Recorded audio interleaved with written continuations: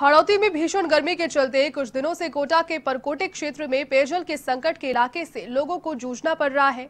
शहर की छोटी समाज बम्बरपुरी क्षेत्र, फतेहगढ़ी, रामपुरा, भाटापाड़ा, मेहरापाड़ा सहित संपूर्ण परकोटरा क्षेत्र में पेयजल समस्या उत्पन्न हो गई है। इन क्षेत्रों में पीने का पानी भी नहीं आ रहा, इसके चलते आमजन भी त्रस्त है। ऐसे में पूर्व पार्षद चंद्र प्रकाश सोनी सहित कार्यकर्ता, अधिशासी अभियंता से मिलकर जल्द ही पेयजल व्यवस्था को सुचारू करने की मांग कर चुके हैं। उन्होंने कहा कि जल्द ही पेयजल व्यवस्था को दुरुस्त किया जाएगा, नहीं तो जनहित को आंदोलन करने के लिए मजबूर होना पड़ेगा।